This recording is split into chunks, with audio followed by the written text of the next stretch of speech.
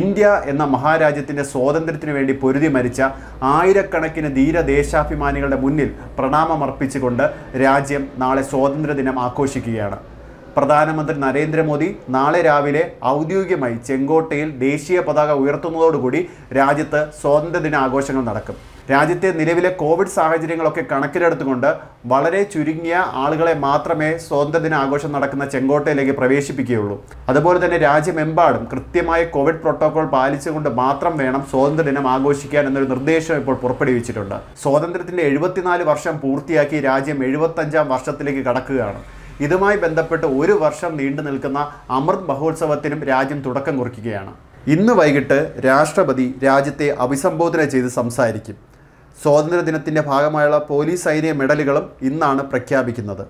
സ്വാതന്ത്ര്യത്തിന്റെ എഴുപത്തഞ്ചാം ആണ്ടിലേക്ക് രാജ്യം എത്തുമ്പോൾ ഒരു വർഷം നീണ്ടു നിൽക്കുന്ന അമൃത് മഹോത്സവത്തിന് കൂടിയാണ് സർക്കാർ തുടക്കമിടുന്നത്. ആയിരത്തി എണ്ണൂറ് പരിപാടികളാണ് ഇതുമായി ബന്ധപ്പെട്ട് സംഘടിപ്പിക്കുന്നത്. രാജ്യത്തെ പ്രതിരോധ സേനകളുടെ ഭാഗമായിട്ടുള്ളവരും ആസാദിക്ക അമൃത് മഹോത്സവം വിപുലമായി തന്നെയാണ് ആഘോഷിക്കുക. നിലവിൽ കോവിഡ് മഹാമാരി മൂന്നാം തരംഗത്തെ എപ്പോൾ വേണമെങ്കിലും പ്രതീക്ഷിക്കുന്ന ഒരു സാഹചര്യത്തിൽ കർശന നിയന്ത്രണങ്ങളോടെയാണ് ഇത്തവണയും ചെങ്കോട്ടയിലെ ചടങ്ങുകൾ നടക്കുക. നാളെ സ്വാതന്ത്ര്യ ദിനത്തോടനുബന്ധിച്ച് ചെങ്കോട്ടയിൽ നടക്കുന്ന പരിപാടികളിൽ പങ്കെടുക്കുന്നതിന് വേണ്ടി ഒളിമ്പിക്സിൽ ഭാഗമായിട്ടുള്ള എല്ലാ കായിക താരങ്ങളെയും പ്രധാനമന്ത്രി നേരിട്ട് ക്ഷണിച്ചിട്ടുണ്ട്. നൂറ്റി പത്തൊൻപതോളം കായിക താരങ്ങളാകും നാളെ ഇതിന്റെ ഭാഗമായി ചെങ്കോട്ടയിലെത്തുക. നാളെ പ്രധാനമന്ത്രി രാജ്യത്തെ അഭിസംബോധന ചെയ്ത് ചെങ്കോട്ടയിൽ സംസാരിക്കുമ്പോൾ പുതിയ ചില പദ്ധതികൾ പ്രഖ്യാപിക്കാനും സാധ്യതയുണ്ട് എന്ന വാർത്തകൾ ഇപ്പോൾ വ്യാപകമായി പ്രചരിക്കുന്നുണ്ട്. പ്രധാനമന്ത്രിയായി ചുമതലയേറ്റ ശേഷം ആദ്യത്തെ സ്വാതന്ത്ര്യ ദിനത്തിൽ ചെങ്കോട്ടയിൽ നടത്തിയ പ്രസംഗത്തിലായിരുന്നു സ്വച്ഛ ഭാരത് അഭിയാൻ അടക്കമുള്ള പദ്ധതികൾ പ്രധാനമന്ത്രി പ്രഖ്യാപിച്ചത്.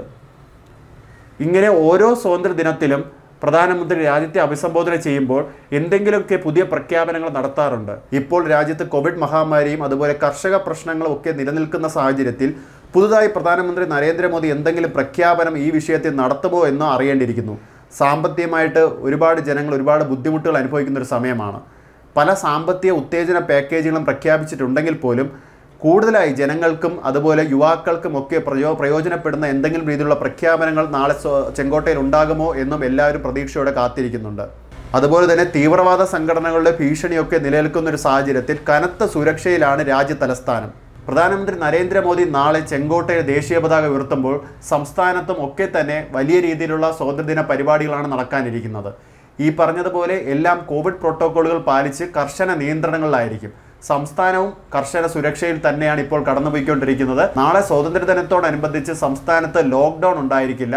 സമ്പൂർണ ലോക്ക്ഡൌൺ ഇല്ലാത്ത ഒരു ഞായറാഴ്ചയാണ് നാളെ. കൂടുതൽ വാർത്തകൾക്കായി ഞങ്ങളുടെ വെബ്സൈറ്റായ Malayalam dot Samayam dot com സന്ദർശിക്കുക. കൂടുതൽ വീഡിയോകൾക്കായി ഞങ്ങളുടെ ചാനൽ സബ്സ്ക്രൈബ് ചെയ്യുക. ഇത് സമയം മലയാളം ഫ്രം ടൈംസ് ഇന്റർനെറ്റ്